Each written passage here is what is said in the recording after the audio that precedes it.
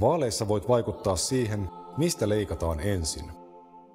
Jotkut säästäisivät ensin lapsista, sairaanhoidosta, vanhuspalveluista ja maanpuolustuksesta. Minä leikkaisin ensin maahanmuutosta.